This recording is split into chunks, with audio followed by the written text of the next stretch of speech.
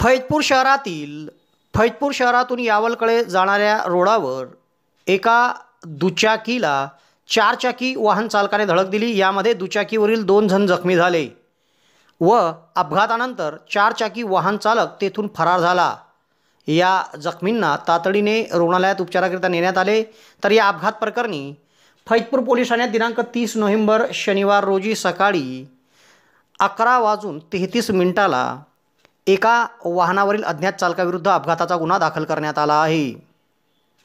फैजपूर शहरातून फैजपूरकडून यावलकडे जाणारा रस्ता आहे. या रस्त्यावर सचिन बाळू पाटील राहणार चितोडा तसेच हेमंत गोविंदा भंगाळे राहणार चितोडा हे दोघे दुचाकी क्रमांक एम एच एकोणावीस बी एस चौदा झिरो पाचद्वारे येत होते. दरम्यान त्यांना स्विफ्ट डिझायर कार क्रमांक एम एच झिरो दोन बी पी सतरा पंधरावरील अज्ञात चालकाने धडक दिली.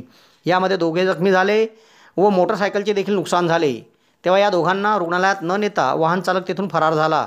तेव्हा या अपघात प्रकरणी फैजपूर पोलीस ठाण्यात देवेंद्र पाटील यांनी दिलेल्या फिर्यादीवरून अपघाताचा गुन्हा दाखल करण्यात आला आहे. पुढील तपास फैजपूर पोलीस ठाण्याचे सहाय्यक पोलीस निरीक्षक रामेश्वर मोताळे यांच्या मार्गदर्शनाखाली पोलीस उपनिरीक्षक रशीद तडवी करीत आहे. आपापसातला तंटा समजुतीने सोडवूया. चला लोक न्यायालयाचा मार्ग धरूया. लोक न्यायालयाची आहे ही हमी जिंकतील पक्ष दोन्ही. येथे केसचा झटपट निकाल लागतो. तोंडी पुरावा उलट तपासणी दीर्घ युक्तिवाद यांना थारा नसतो. वेळ आणि पैसा दोन्हींचीही बचत होते. शिवाय निवाड्याची अंमलबजावणी कोर्टामार्फत करता येते. तरी सर्वांनी चौदा डिसेंबर दोन हजार चोवीस रोजी येणाऱ्या लोक न्यायालयाचा तसेच आठ मार्च दोन हजार पंचवीस रोजी पुढील लोक न्यायालयाचा लाभ घ्यावा. अधिक माहितीसाठी टोल फ्री क्रमांक one five one double zero वर कॉल करा. किंवा जवळच्या न्यायालय परिसरातील विधी सेवा प्राधिकरणाशी संपर्क साधा. महाराष्ट्र राज्य विधी प्राधिकरणातर्फे जनहितार्थ